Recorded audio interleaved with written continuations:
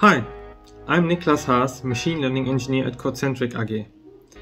I'm looking forward to our session Use of PLC data for early detection of a serious production failure at Kampf at Machine Learning Week on October 5th and 6th in Berlin.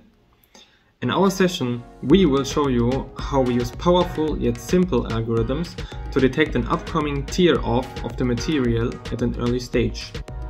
This works on top of Kampf's very own and self-developed Industry 4.0 platform.